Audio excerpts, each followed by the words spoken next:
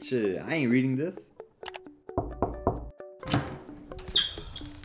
Yo, what's good? Hey, what's up? Who are you? I'm Danny. Are you gonna let me in? Bro, why would I let you in? Cause I live here now. Wait, what? Yeah, watch out. Huh? Oh, it's gotta bring this mattress in. Uh, sorry. God, you're not moving in, bro.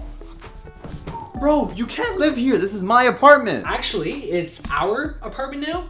You kind of agreed to it. Nah, I didn't agree to anything. Actually, according to page 104, section 3, line 2 of our agreement, you agreed to let me live here for five years. Five years? Yeah, did you not read the terms and conditions? Who actually reads the terms and conditions?